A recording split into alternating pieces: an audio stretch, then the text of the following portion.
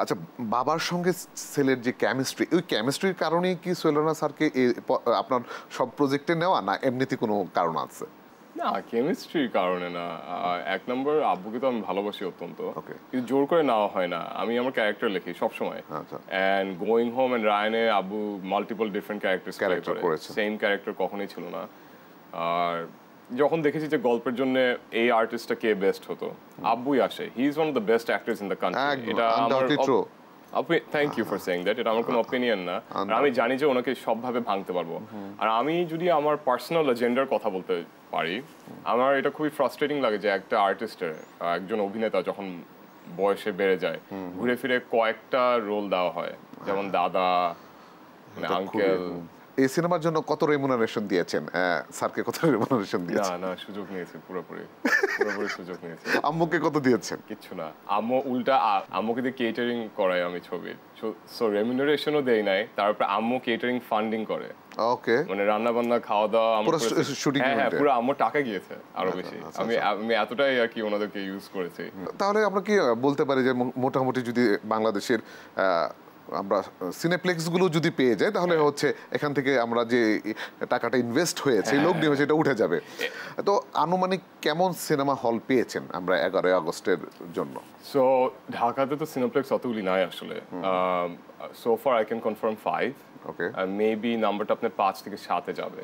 আচ্ছা। That's it আর ঢাকার বাইরে আমি এখন একদমই টার্গেট করছি না। ঢাকায় ফার্স্ট উইকে ভালো করলে Then- আমি তারপর এক্সপ্যান্ড করব অন্য এরিয়াতে না হলে তো। স্টারেরই আপনার রাজশাহীতে একটা ব্রাঞ্চ আছে চিটাগাং একটা ব্রাঞ্চ আছে বাট আমার ফুল ফোকাস ঢাকায়। আর আমি আমার সবকিছু নিয়ে because I can not lie আমি অত্যন্ত ট্রান্সপারেন্ট আপনি আমার থেকে যে তথ্যটা চাবেন আমি সেটাই শেয়ার করব। আর যদি না জানি আপনাকে আমি বলব যে আম সরি আমার কাছে এই ইনফরমেশনটা নাই এখন। আর সিনেপ্লেক্সে ভালো করলে এক্সপ্যান্ড করার সাথে সাথে আমি আমার ইচ্ছা হচ্ছে যে ছবিটা যদি সিঙ্গল স্ক্রিনে যায়। একদম। এটা এটা ভালো সিদ্ধান্ত। তো সেই ক্ষেত্রে কি মনে হয় যে আমরা যতদূর জানি যে রায়ানের সফলতার জায়গাটা তেমন বেশি ছিল না। ছিল না। তো গোয়িং হোম আমরা এবারে প্রিমিয়ারতে যে পরিমাণ মানুষের রেসপন্স পেয়েছি হ্যাঁ। আমি ফেসবুকে অনেকে এটা নিয়ে স্টেটাসও আমরা দেওয়া দেখেছি গত দু তিন দিনের মধ্যে দেখেছি। হ্যাঁ। তো আপনার কি মনে হয় যে ওটা আর কি রায়ানকে ক্রস করতে পারবে কিনা? আই থিঙ্ক উই ক্যান কারণ যে ইউকেতে রেসপন্সটা বেটার ছিল।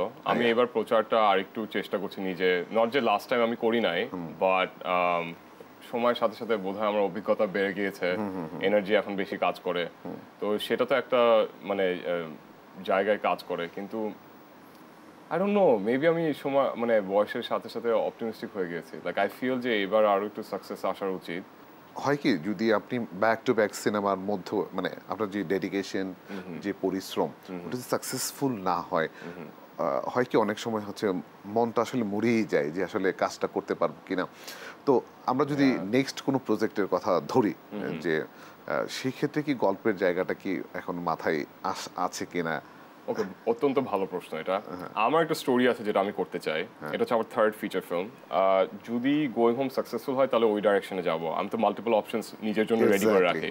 যদি না সাকসেসফুল হয় তাহলে মানে গোয়িং হোম না সাকসেসফুল হলে দেন অন্য জায়গায়। হ্যাঁ আর একটু কমার্শিয়াল কাজ হ্যাঁ। যেটা অনেক দর্শক আমাকে যে লুকে দেখতে চায়। আর অলরেডি একটা স্ক্রিপ্ট আসে একটা ছবি মানে টাইটেলটা খুবই মানে ইন্টারেস্টিং বলব না এটা আমার টাইপের ছবি না। ইটস কল পাগলা সিএনজি